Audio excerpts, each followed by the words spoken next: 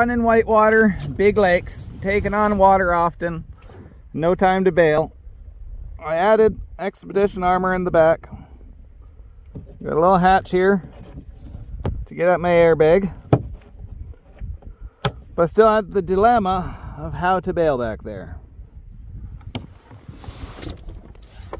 Ended up getting this Beckson pump. It's just awesome.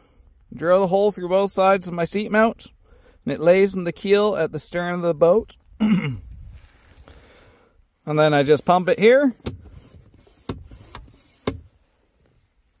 Water comes out there. I set it on the right side so I can pump with my right hand at the same time as running my tiller when my motor's hooked up with my left hand.